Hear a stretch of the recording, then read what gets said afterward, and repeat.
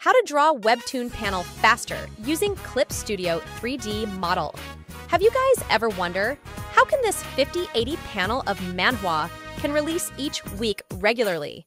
It can happen if you work with a studio, but what if you work by all of yourself? From a blank page till it becoming like this? Well, you can use Clip Studio 3D model. Just go to Window, scroll, and Search Material, and click the 3D Material bar. You can also use Quick Access Window tool too by clicking this. For example, I want to use this male body figure. Click those male body figure and drag it to your canvas, and it will become like this. There are so many ways to change this 3D model pose. 1. Change by your own preference. You can change the pose by clicking the item you want to change, for example by clicking the head and rotate it as you like. It takes a lot of time to make your own pose, so I only using this way if I don't have any templates. 2. Using Clip Studio Template. You can also change the pose by the template pose you have. Go to 3D Model subtabs, go to Pose, and drag that pose to your character. The pose will changing as you blink. You can also search some template pose in Clip Studio Material Asset. There are so many of them. 3. Hand Scanner Camera. Since 2.0 update, Clip Studio 3D Model can use your camera scanner for it hand pose. 4. Image Scanner. You can use Image Scanner too, but it's still not perfect yet and not accurately follow the image.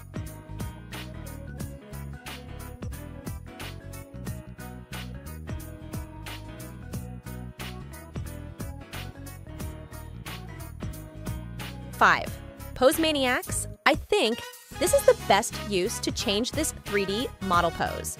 Since 3.0 update, Clip Studio can integrate Pose Maniacs model to your 3D Clip Studio model. Do it by clicking this. Choose the Pose Maniac, and you will go to Pose Maniacs web. Find any pose that you want and open it on your Clip Studio. Remember, guys, this only work for Clip Studio 3.0.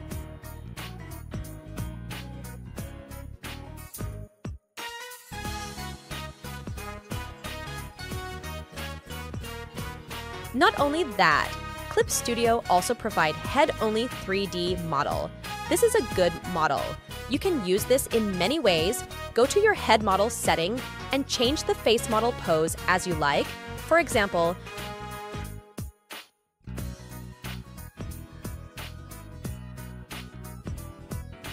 You can also change its facial features. Click any face feature you want to change and change it as you like. Not only that, you can also change the head pose. Click this and change the parameter. You can make a head tilt, changing its angle, etc. Now you have your 3D model and no need to do any more sketch for your webtoon. Of course, it's saving a lot of time. Do the same way by dragging the character, find it pose and camera angle, and apply it for each panel. What's next? Well, just draw your line art. You already have this model as a sketch, you only need to draw above it. Draw your webtoon character by following the model, no need to follow it that much. Us it as your own style. I also have tips for some of you.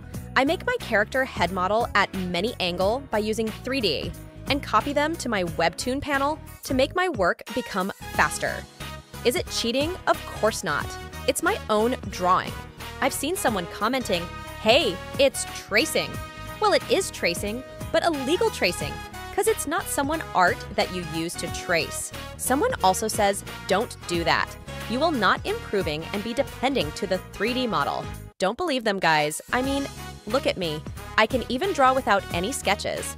Do it as long it's legal and make your work more efficient. And it makes you more productive. Don't believe them who says you won't improve by tracing a 3D. This is really helping me making my webtoon faster even if I'm facing some art block. But if I feel fresh and very willing to draw, I just draw without any sketches or 3D model, lol. Just don't trace somebody art or even copy it and claim it as your own. It is a criminal. If there is a traditional artist crying, because we can do this, say this to them, move to digital and buy Clip Studio. I'm assure you guys, as a webtoonist, it is worth it. Okay, I think it's all for this time. Hope it can be useful. Love you guys.